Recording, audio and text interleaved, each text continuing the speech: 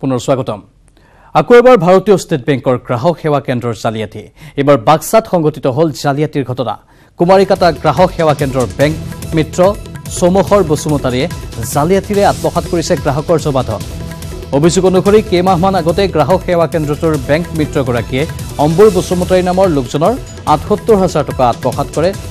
নিজৰ একাউণ্টত ধন জমা হোৱা বুলি জানি অম্বুৰ বসুমতাৰীয়ে দৰংগামেলা এছ বি আইত নিজৰ জমাধন আপ টু ডেট কৰাত ধনখিনি কোনোবাই উলিয়াই নিয়া বুলি জানিব পাৰে। পিছত গ্ৰাহকজনে টকাখিনি বেংক মিত্ৰ চৌমখৰ বসুমতাৰীয়ে উলিওৱা গম পাই ঘটনা সন্দৰ্ভত এছ বি আই দৰংগামেলাত এখন লিখিত আবেদন দিয়ে। ঘটনা সন্দৰ্ভত বেংক কৰ্তৃপক্ষই চৌমুখৰ বসুমতাৰী নামৰ লোকজনৰ গ্ৰাহক সেৱা কেন্দ্ৰৰ আই ডি বন্ধ কৰে। অভিযোগ অনুসৰি কুমাৰীকাটা গ্ৰাহক সেৱা কেন্দ্ৰটোৰ বেংক মিত্ৰগৰাকীয়ে অম্বুৰ বসুমতাৰীৰে নহয় বহু দুখীয়া লোকৰ জমাধন জালিয়াতিৰে উলিয়াই আত্মসাত কৰিছে।